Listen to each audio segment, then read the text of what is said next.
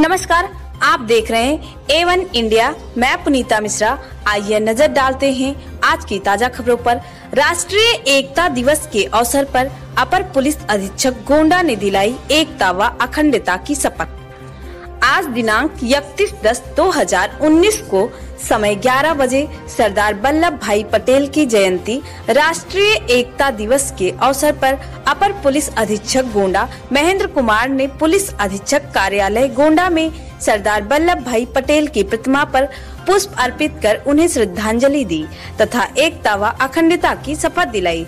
राष्ट्र की एकता के संबंध में अनुसूचित जाति, जनजाति के प्रति बराबर का व्यवहार करने, दहेज प्रथा की समाप्ति, अश्लील साहित्य के प्रकाशन पर रोकथाम, धर्म, जाति, रंग, भेद भाव को मिटाने तथा सांप्रदायिक भेदभाव के उन्मूलन के संबंध में उपस्थित समस्त पुलिस अधिकारी, कर्मचारी गण को बताया।